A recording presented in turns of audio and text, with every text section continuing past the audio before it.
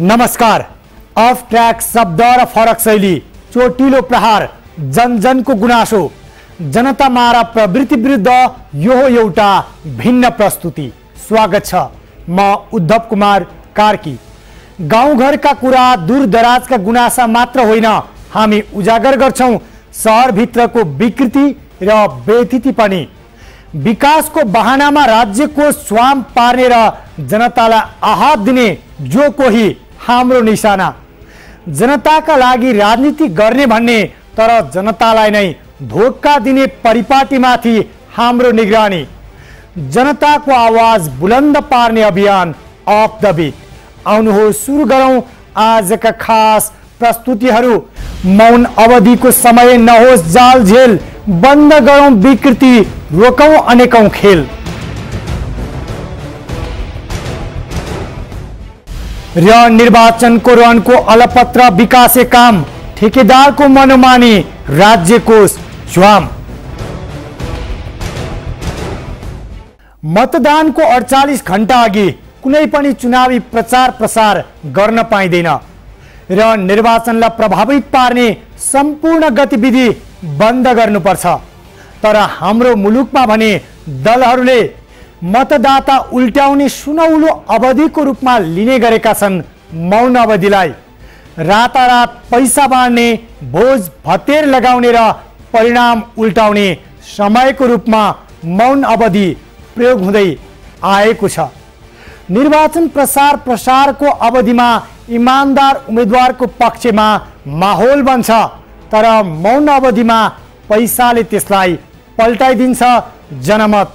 उल्टाइदिन्छ अनि परिणाम सोचेभन्दा फरक आउँछ।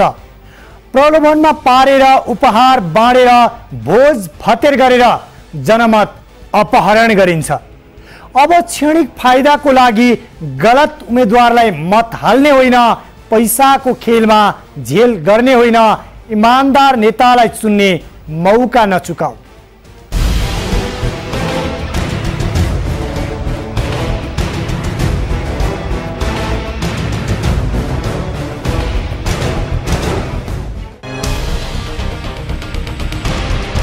जब जब अँध्यारो हुन्छ हाम्रो मुलुकमा ठुल्ठुला निर्णय हुन्छन्। सोध्दै नसोचेका घटना घट्छन् अनि निर्वाचनमा पनि जब मौन अवधि सुरु हुन्छ त्यसपछि निर्णायक खेल सुरु हुन्छ। पहिलो चरणमा मङ्सिर दस गते बत्तिस जिल्लामा हुने प्रतिनिधि सभा र प्रदेश सभाको निर्वाचनको लागि बिहिबार राति बाह्र बजेदेखि मौन अवधि सुरु भएको छ। निर्वाचन आचार संहिताकै कुरा गर्ने हो भने यो अवधिमा कुनै पनि उम्मेद्वारले चुनाव प्रचार प्रसार गर्न पाउँदैनन्।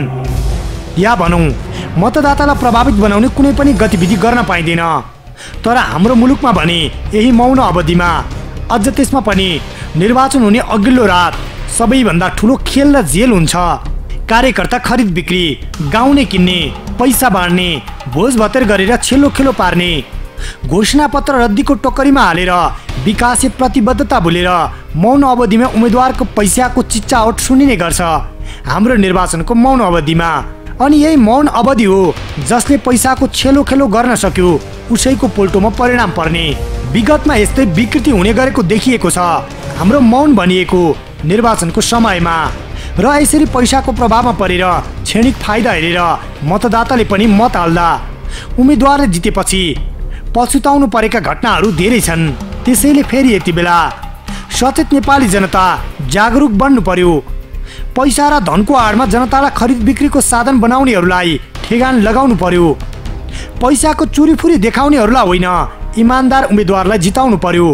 पैसाको आडमा नेता बनेर निर्वाचन जितेर जनताले तिरेको करमा मस्ती गर्ने राज्यको दोहन गर्ने र प्राकृतिक स्रोत साधनमा हाली मुहाली गर्दै उल्टै जनतालाई दास बनाउन खोज्ने परिपाटी धेरै नदेखेका होइनन्।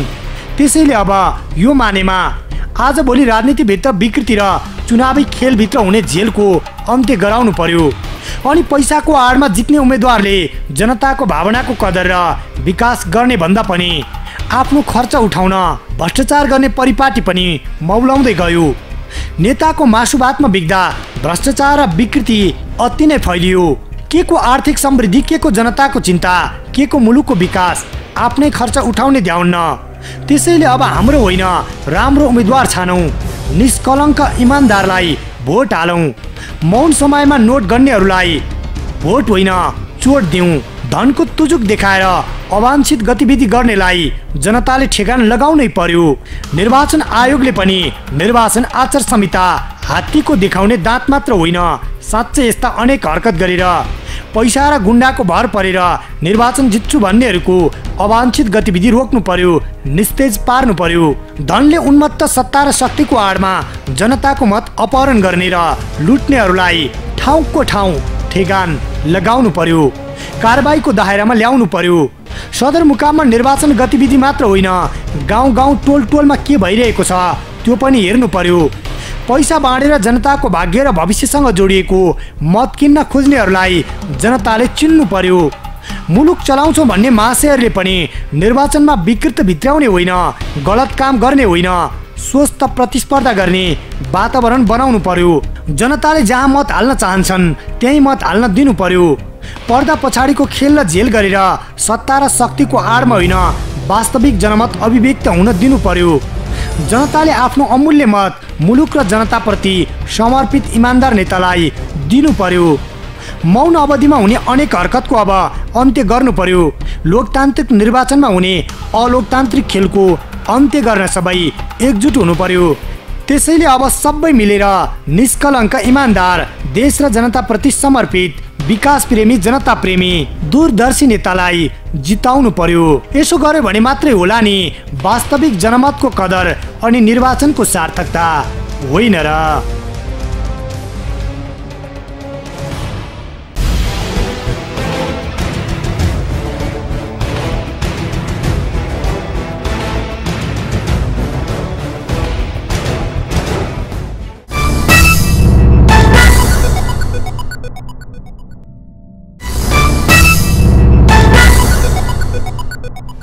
ठेकेदारी विकास निर्माणको काम भनी साध्य छैन।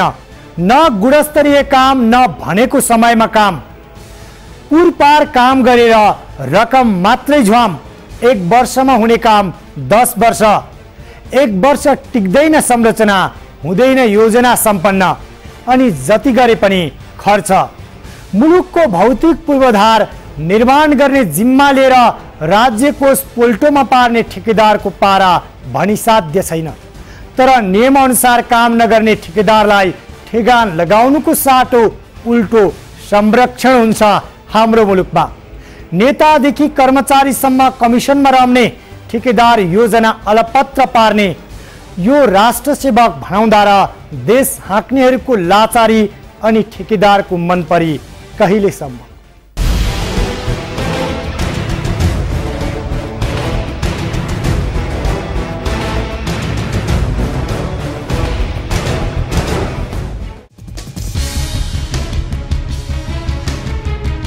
दर्शक वृन्द यो रूपन्देहीको तिनाउ नदीमा निर्माणाधीन मणिग्राम मोतीपुर जोड्ने पुल आर्थिक वर्ष दुई हजार छैसठी सडसठीमा ठेक्का सम्झौता भएर निर्माणको काम सुरु भयो। अनि सम्झौता पत्रमा स्पष्ट उल्लेख गरिएको छ तिन वर्षभित्र पुल निर्माणको काम सम्पन्न गरिसक्नुपर्छ। ठेकेदारले पनि झन्डै चालिस प्रतिशतको हाराहारीमा भुक्तानी लिइसकेका छन्। तर अचम्म चार वर्ष अघि नै निर्माण कार्य सम्पन्न हुनुपर्ने पुल अहिलेसम्म अलपत्रै छ। सरकारी कामको लापरवाही कस्तो हुन्छ भन्ने उदाहरण यो एउटा पुललाई लिन सकिन्छ।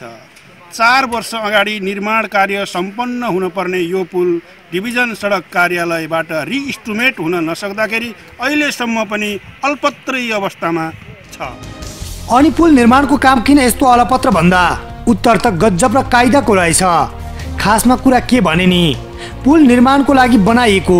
पुलको वास्तविक डिजाइन नै गलत परेछ अरे। त्यसैले अहिले पुल निर्माणको काम यसरी अलपत्र परेको अरे। अनि यतिका वर्ष बित्दा पनि पुलको डिजाइन गर्ने अर्को इन्जिनियर पाइएन अरे। अहिलेसम्म यातायात व्यवस्था विभागले केन्द्रबाट पुनः डिजाइन गरेर पुलको नक्सा नपठाउँदासम्म यसै गरी पुल अलपत्रै पर्छ अरे। पुल निर्माणको जिम्मा पाएको लाइट कन्स्ट्रक्सन प्रणाली भन्छ। पुल कहिले बन्छ? ठेगान छैन। तपाईँको चाहिँ आधाको चाहिँ अलि बल्ल बल्ल चाहिँ यो पोहोर साल जेठतिरबाट चाहिँ हामीलाई चाहिँ अगाडि काम गर्नु भन्ने चाहिँ सुविधा आयो। दुई स्पानको अरू बाँकी तिन स्पानको चाहिँ आजसम्म के गर्ने भन्ने कुरो नै हामी आफैलाई थाहा छैन। कहिले सकिएला भन्ने अब थाहा छैन। त्यो थाहा छैन। जबसम्म किनभने एक स्पान काम गर्नलाई कम्तीमा पनि हामीलाई दुई तिन महिना लाग्छ समय। कस्तो उदेक लाग्दो जवाफ। जसले पुल निर्माणको जिम्मा लियो। ठेक्का पायो।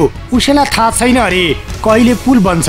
अनि अब जनताले कसरी थाहा पाउने? विकास निर्माणको काम कहाँ के हुँदैछ भनेर। दस करोड सैँतिस लाख पन्चानब्बे हजारमा निर्माण सम्पन्न गर्ने गरी जिम्मा पाएको ठेकेदार पक्षको यस्तो अनभिज्ञता छ पुल निर्माणको विषयमा। अनि सरकारी पक्षलाई सोद्धा यस्तै गैर जिम्मेवार जवाफ। छैन मतलब देखिँदैन चासो।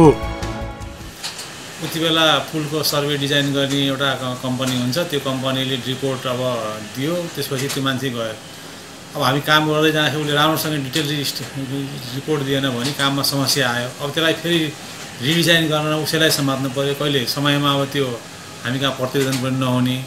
अनि ती ती कन्सल्टेन्टहरू पनि उपलब्ध नहुने। आदि इत्यादि कारणले गर्दाखेरि रिजि रिडिजाइन हुन अनि समस्या छ त्यहाँ। यो पुल मात्र होइन यो त एउटा उदाहरण मात्रै हो। रूपन्देही जिल्लामा चार दर्जनभन्दा बढी निर्माणाधीन पुल यसै गरी अलपत्र छन्। वर्षौँदेखि काम अघि बढिरहेको छैन। सबै ठेकेदारको ताल उस्तै छ। तर छैन राजनीतिक दललाई ध्यान छैन नेतृत्व गर्नेहरूलाई विकासे अड्डा हाँक्ने र सरकारवालाहरूलाई चासो। यति बेला गाउँ गाउँमा टोल टोलमा भोट माग्न उम्मेद्वार पुगेका छन्। मन्त्री बनेर यसो गरे त्यसो गरे भन्दैछन्। नेतृत्व गरेर समाज सुधार गरे विकास र बजेट पारे भन्दैछन् अनि विकासको बाढी ल्याउने आश्वासन दिँदैछन्। तर विकास योजना अलपत्र परेकोमा छैन चासो। जनताले जति गरे नि गुनासो। बरु ठेकेदारको कमिसनमा जसो भने उसै काम उसै तारताम्मे जति भने उति रकम थपिदिने। ठेकेदारको मनोमानले यति बेला हद नआएको छ। अनि विकासी अड्डा हाँक्ने कर्मचारीलाई पनि हुँदैन चिन्ता। सेवा सुविधा पाएको छ भत्ता खाएकै छ। जनताले जति दुःख पाए पनि कसलाई के को मतलब के को सरोकार? यस्तै चलेको छ अत्याचार हाम्रो मुलुकमा। कतै कमिसनको खेल कतै ढिला सुस्ती र कतै उदासीनता विकास निर्माणको काममा सबैतिर यस्तै छ। बेहाल जनतालाई शास्ति ठेकेदार मालामाल ठप्प छ विकास निर्माण राज्य कङ्गाल के यही पाराले बन्ला त हाम्रो मुलुकको पूर्वाधार। अनि होला त मुलुक सिङ्गापुर। मुलुकको समृद्धिको सपना साकार। यसरी त नहोला नि होइन र? अब निर्वाचनको बेला अनेक विकासी गुड्डी आँक्नेहरूले यस्ता अलपत्र विकासी योजनाको विषयमा पनि सोचिदिएको भए राम्रो हुन्थ्यो होला नि होइन र?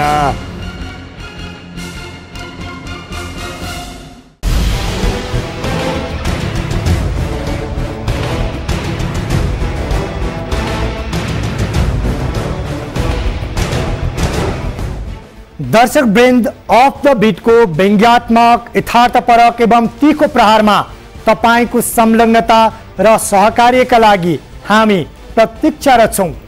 यदि तपाईँको कुनै सल्लाह सुझाव र गुनासो छन् भने हाम्रो टेलिफोन नम्बर शून्य एक चार दुई दुई सात दुई दुई दुईमा फोन गरेर आफ्ना सुझाव सल्लाह र गुनासा राख्न सक्नुहुन्छ। हवस् त अफ द बिटको यही बिट मारौँ तपाईँ हम भेटघाट होने अफ द बिटमै नमस्कार।